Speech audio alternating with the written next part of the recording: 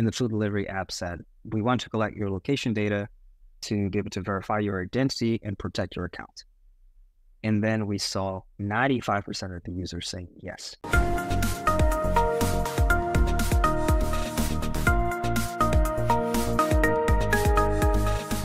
Hello, welcome to PayPod, where we bring you conversations with the trailblazers shaping the future of payments in fintech. My name is Kevin Rosenquist. Thanks for listening. With location intelligence, a company can analyze device behavior and location patterns to create a unique identity profile for users, thus distinguishing legitimate users from fraudsters without requiring additional inputs from the user. Pretty cool, huh? But how does it work? Today I'm chatting with Andre Ferraz, CEO and co founder of Incognia, a mobile identity solution for apps that increases conversions and reduces fraud by enabling real time recognition of trusted users. He sheds light on the idea of location intelligence, the shortcomings of two factor authentication, and mentoring young entrepreneurs. Joining me now, Andre Ferraz.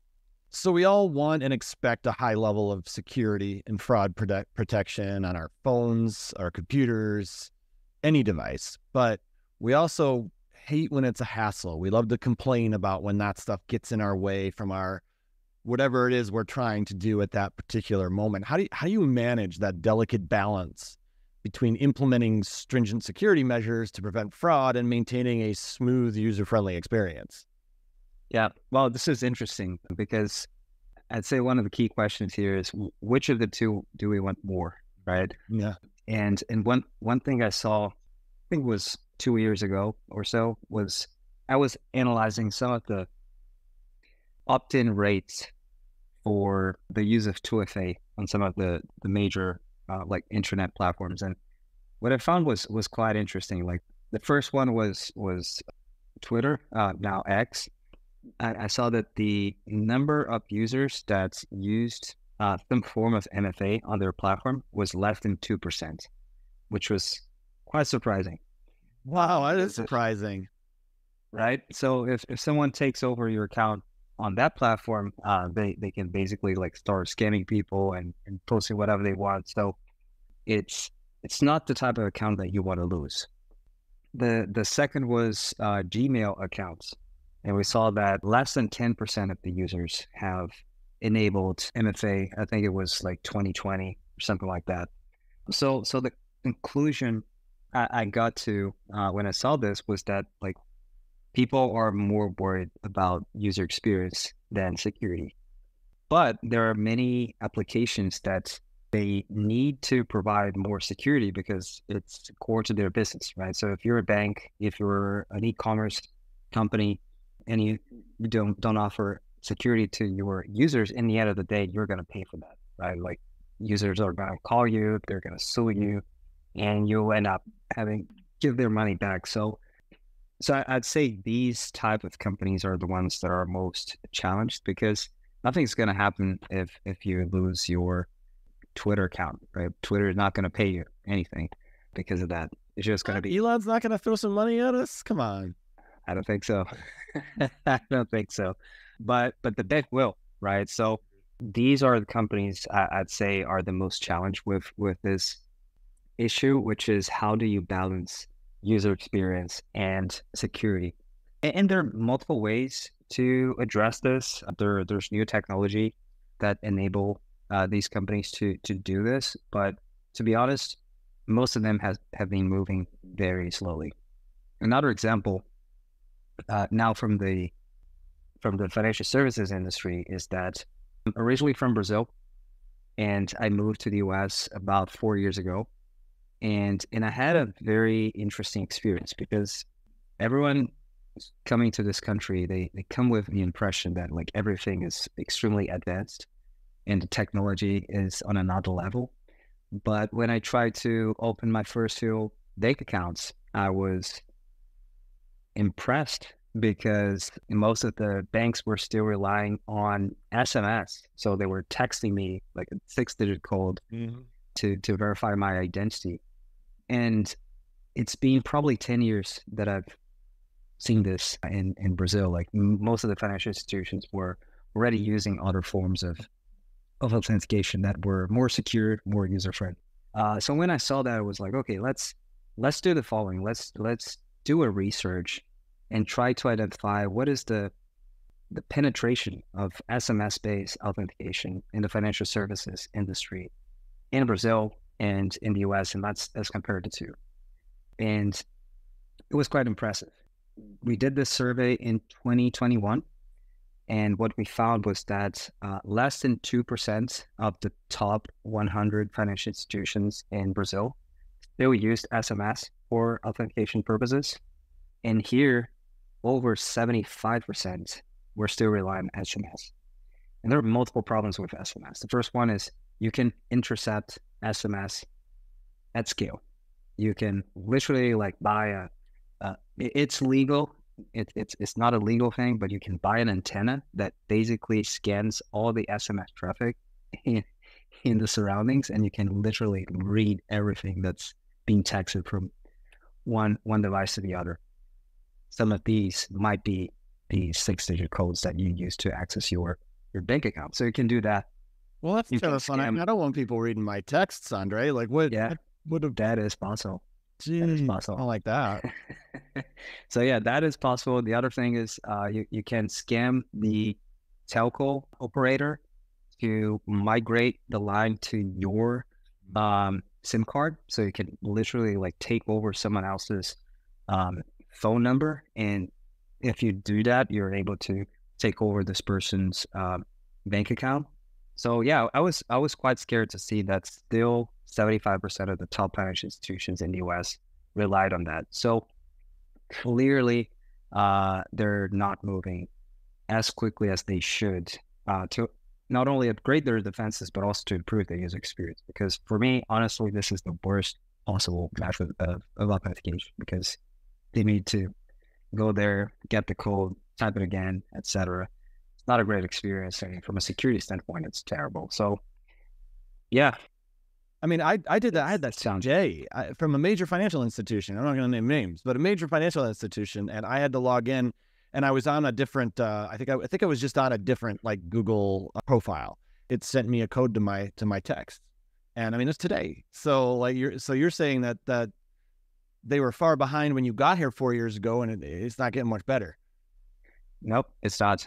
Uh, but there's one thing that I believe was was the primary reason for the financial institutions in Brazil to to move forward more quickly, which was real time payments. So currently in the Brazilian market, real time payments represents the vast majority of, of payments. Um, it's already bigger than uh, cash and credit cards combined. And basically, uh, this this means that you can transfer money from one bank account to another instantly with no limits. Mm-hmm. And one hand, this is great because it's like it, it accelerates commerce, it, it boosts the economy, etc. On the other hand, from a security standpoint, it's quite scary, right? Because yeah. you can move money right away. There's not not going to be anyone to reveal that that transaction. Yeah, there's not like intermediary and, making sure it's legit. Yeah. Yeah. And and there's no, no way to revoke that transaction. You can't say like, oh, that was a mistake. I want my I want my money back. So from a fraud standpoint, that is quite scary. But the thing is, sometimes you only solve problems when they become very latent, right? And and this is what happened. Uh, this was launched in 2020. The banks were like uh, they, they were really impacted by uh, fraud, and they had to move very quickly to upgrade their defenses. Right, so the the financial institution there they they had to move away from, for example, SMS, and they started adopting more secure technologies. Um, and and currently, uh, the fraud rates are actually very low because they all had evolved in, in, in that direction. So I believe the same is going to happen here in the US once real time payments uh, um, be- become more prevalent. And and there are a few initiatives that are going on like FedNow and, and RTP, et cetera, that might send the, the financial services industry in, in that direction. Let me uh, let, let's talk about location intelligence. It's another aspect of what you guys do. You can analyze device behavior and location patterns and create a unique identity profile for users, thus distinguishing legitimate users from fraudsters without requiring additional inputs from the user. Did I explain that well? Yeah, perfectly. Perfectly. Could you uh, elaborate on how device and location signals help in creating a u- unique user identity? Yeah, yeah. So I'd say the key insight behind this idea is is that for every online interaction or transaction, we have to do this from a physical device and from a physical location. Right. So we we thought that if we understood these two things really well, we would be able to uh, very precisely determine what is risky and what is not. So, for example, um, let's say someone is trying to open a bank account, right? So they downloaded a mobile app and they're they're trying to open an account. First, if we've seen this device trying to open other accounts in the past, that's not normal behavior, right? Like why why are you trying to open three, four, five accounts on the same institution using different identities and using the same device, right? So uh, that that'd be the first uh, thing we, we would check for. The second is as part of the process, you have to share some information about you, right? So one of these data points would be, for example, like, oh, we, we need to scan your driver's license. And one of the data points that we have on the driver's license is the physical address of that individual, right?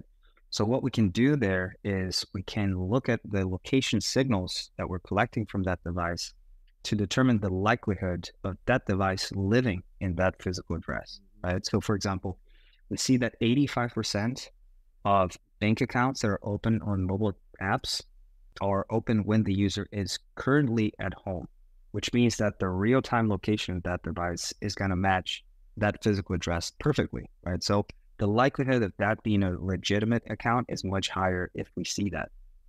So this is the kind of thing that we look for when we're trying to determine risk, but we are also able to use the same data to identify the bad behavior, right? So for example, one of the things we see a lot is a very high concentration of devices in the same place.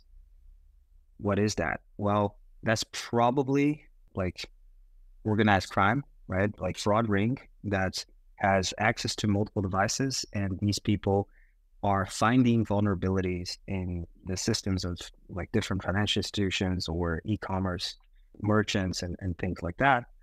And once they identify these vulnerabilities, they start exploiting them. So, for example, if there is a vulnerability related to creating accounts on a food delivery platform, for example, and for every new account, you get a 20% coupon to make your first purchase. Well, I can eat for free if if I find that, right? So I, I can start creating one account after the other and in placing orders that are below $20 and I can eat for free for the rest of my life. Right. So people do that. And and this is the type of behavior that we identify. Well, we've seen multiple accounts being created from the same physical location before. So we're not going going to allow any new account to, to be created from this place. Same applies to devices, right? If we see the same device trying to do the same thing over and over, that's not the type of behavior we expect from a good user. So, given the apprehension and, and sometimes even fear that people have regarding being tracked, is location intelligence something that people are nervous about in your experience? It depends. If they don't know why this data is being collected, they're they're certainly going to be apprehensive and they're not going to want to share, right? So we one interesting experiment we we've run was the with the same app, we had a group of users that would receive that like classic pop-up asking for the user to share location and the pop-up would, would not say anything. It was just like the app wants to collect your location. For that first group, we saw that less than 20% of the users were willing to share that information. Then the second group, we sent the same pop-up, but we explained why we wanted to collect that data. In this case, it was a, it, by the way, a food delivery app. And the food delivery app said, we want to collect your location data to be able to verify your identity and protect your account. And then we saw 95% of the users saying yes. Exactly. Exactly. So when you're transparent with your user and they understand how uh, the app is going to use this data, they're way more willing to to share the information. So I think that's that's the most important thing is like if you're using it for a good purpose, tell your user, right? Obviously, there are some apps that are collecting location for other purposes. Sure. They're not necessarily going to make people comfortable. So these apps are not going to share. Um, but if the use case is like security and fraud prevention, like most people are more worried about having their bank accounts and their credit card information stolen than having their location information being available to to the apps. If someone travels a lot, is does that confuse things? Does that make it difficult for you know the location to be consistent enough to not kind of screw them up if they were trying to access their their information or their accounts? Yeah, that, that's a great question, and and I'm actually a a great example of, a user that travels a lot. So if, if it's working for me, I'm, I'm confident that's that's working for for other people. But basically, the the way it works is given we're looking at two things at the same time, it it tends not to be a problem, right? So we're looking at the device and the location. So if you're traveling, it means that the location is changing, but the device is still the same, right? The dev- device is coming with you. You very rarely you will forget your phone before taking like a, a, a plane. Yeah, somewhere, right? So uh, the only scenario would be crippling, wouldn't it? That would be like the oh yeah, right? how would you, how would you, I couldn't even function anymore in this day and age with exactly. exactly. Well, you, you you would probably not not even be able to to board the plane. That is, yeah, you're right. You would have the QR code, right? But True. assuming that this happens, right? You forgot your phone, you got on a plane, you arrived somewhere else, uh, and and only then you realize, oh, I, f- I forgot my phone. This would be a scenario in which we would be confused, right? Because we would see a whole new device in a completely different location trying to log into your account, we would say, well, this is probably somewhere else, someone else. But in these cases, the user can still like use other ways to authenticate themselves uh, to to that application. Worst case, you would need to call the contact center and say, like, "Hey, I forgot my phone. Mm. Uh, I, I, was in the West Coast, now I'm in the East Coast." Uh, swear it's me. I swear it's me. exactly is uh the the two FA is that is that good? Like, is that something? For example, you know, like I'll, if I'm logging into something like my Google account from somewhere, I get the little thing on my phone. All I got to do is hit yes, it's me, and I'm able to get in no problem. Same thing with you know sometimes with streaming apps and whatnot. Is that is that a a good way of doing it? A, a good way of authenticating? Yeah, it it depends on the the method, right? So for example, SMS is something to avoid as right. much as possible. If you have the ability to use something else, this other thing would always be better than SMS.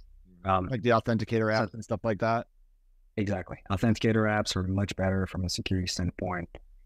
Email, like e- even if instead of sending like the six digit code to your phone number, like if they send send it to your email, it's already much better from a security standpoint. Mm-hmm.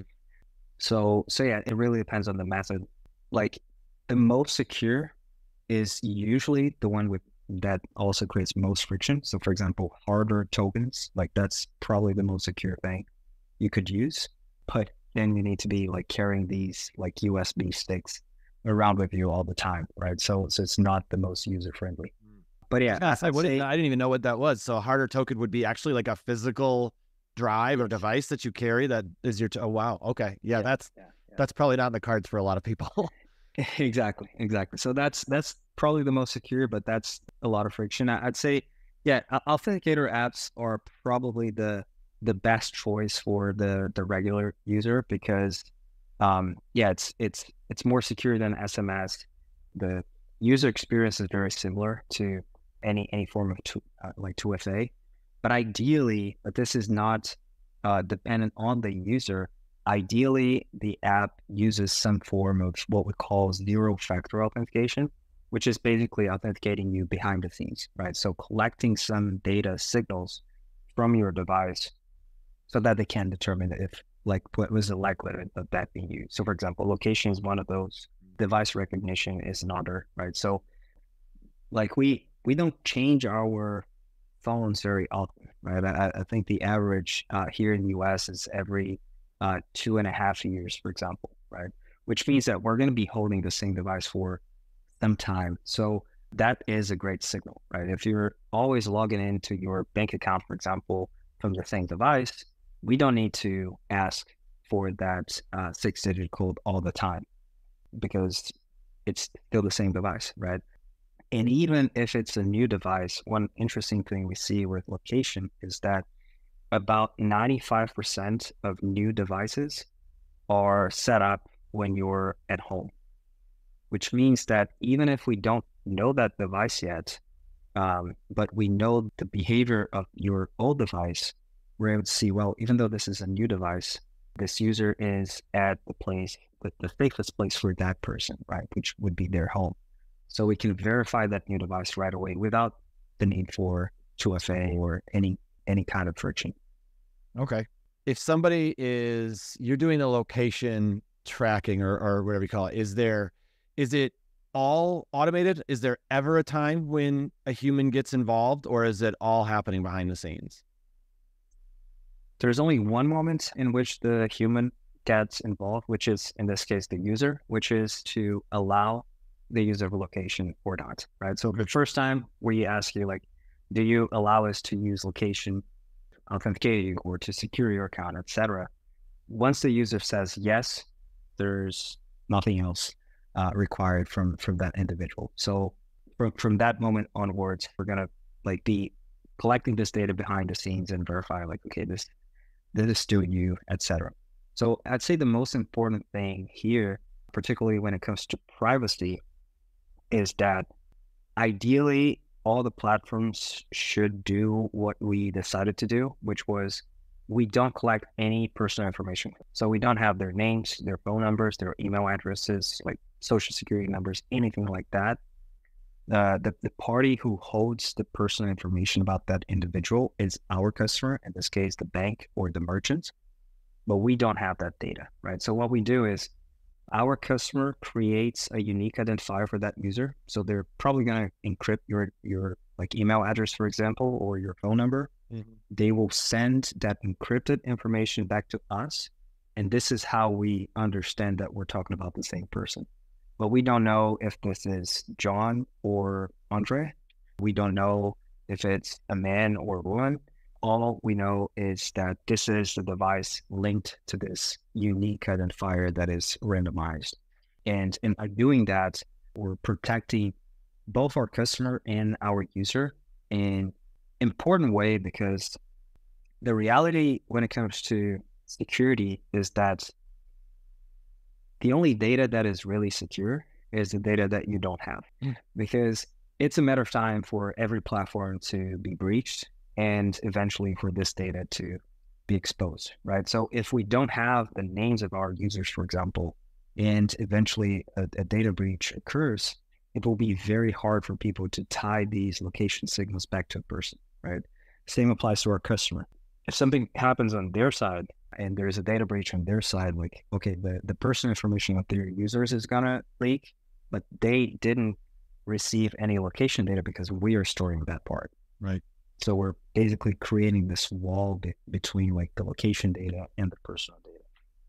Well, that's good. I mean, that should help people, people's, uh, you know, hesitancy to accept something like this, as long as they know it. Like we talked about before, it's just being transparent and it's about educating and all that. And I think that, yeah, I mean, it's understandable. We get, we get asked all the time if we want to share our data. The funny thing is, and we've talked about on this podcast before with other guests, is it's like, I mean, how quickly do people just hit agree, agree, agree, agree, agree, agree, agree when they've got something on their phone or their computer? They just want to get to whatever they're looking for, and it's like like we pick and choose what we're going to be what we're going to be freaked out by. Like someone might hear what you do and be like, "Oh, I don't want anybody tracking me," but yet they're doing some shady card game that they got they got, and they're you know they're like, "Oh yeah, I'll I'll buy some more some more tokens so that I can I can play you know spades or whatever." So it's funny that sort of a catch 22 with people that they their comfortability level just just varies by person. Yeah. Yeah i, I remember a story of a i think it was a flashlight app that later on was was uh, revealed that the, the app was was was basically selling data from their users and they were asking for every type of information that was completely unrelated to flashlight they were asking for location. they were the asking for yeah access to your microphone. Like, why do you need access to my microphone to right, right. improve the flashlight experience? Yeah, right. Yeah. Uh, but but yeah, later on they they were caught. They were selling like data hundreds of millions of users because yeah. it was a free app. A lot of people downloaded it, and it was launched even before the operating systems uh, offered their own flashlight apps. Right, so a lot of people have downloaded this. Yeah, what a great tool. So, yeah, a, a, lot of weird thing can can, can happen in, in, apps that seem like they're not would not be a, a threat. Mm-hmm. So this is the third company you founded, correct? Yeah, we, we could consider the third is still kind of the same company, but it, it, it went through different iterations.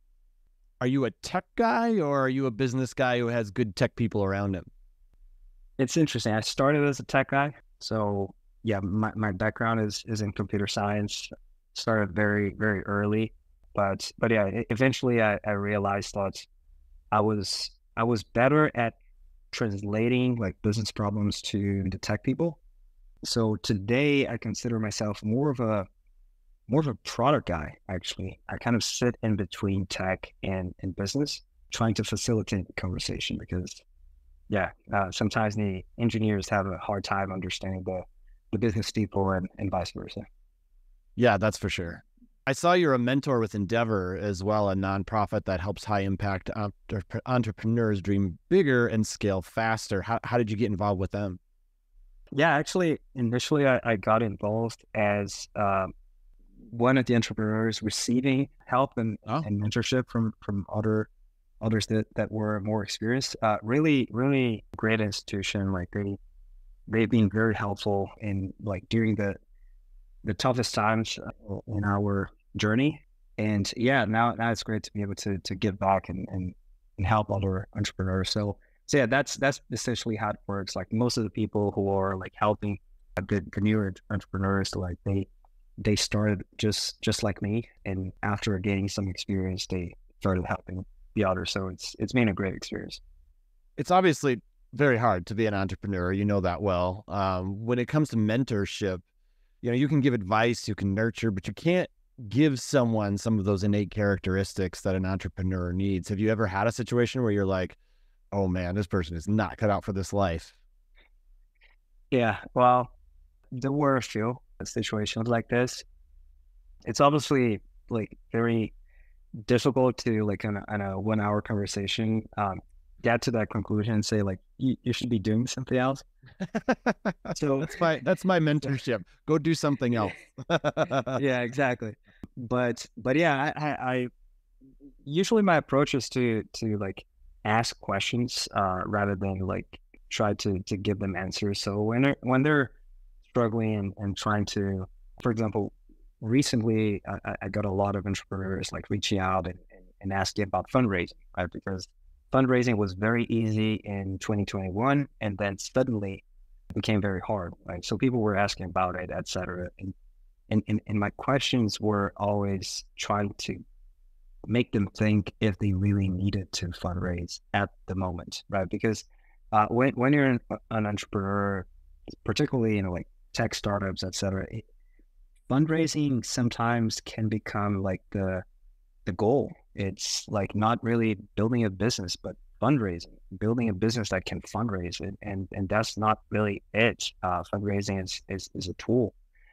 So in many of these cases, for example, uh, the entrepreneurs decided that they were going to keep focused on building their business. They would be more conscious about like spending money. They would be bit more conservative until the market got a little bit better. Um, and now they're finally going out and starting to fundraise and being more successful because they, they were really focused on building the business. So yeah, that's that's the type of mentorship that that I usually uh, provide to other entrepreneurs is like helping them question what they're trying to do next because uh, usually a lot of people like to follow frameworks and, and playbooks and things. They looking around and seeing everybody. There's a lot of business books and entrepreneurship books out there. Yeah, but the reality is that every business is completely different, and there's no framework that works for everybody. Uh, there's only one thing, in my opinion, that's common to the successful entrepreneurs, which is uh, the ability to get back on your feet when something bad happens, right? Uh, at the end of the day, the ones that are like resilient, keep pushing it even when it's hard, those are the ones that succeed. There's no other characteristic, in my opinion, that uh, defines a good entrepreneur. Like some are creative, some are not, some are like super hard workers, and there are some entrepreneurs that don't work really hard, but they're still successful. Uh, but they insist in the same idea and, and they keep moving forward. There are entrepreneurs that are great recruiters. There are others that are not. Um, but yeah, in, in the end of the day, if you're very resilient and you're able to deal with adversity, your chances are are much better. So uh, that's a great point. Well, Andre, with uh, Incognia, thank you very much for being here. I really appreciate your time and teaching us all about uh, all about location intelligence and everything else. Appreciate you being here. Thank you. It was a pleasure.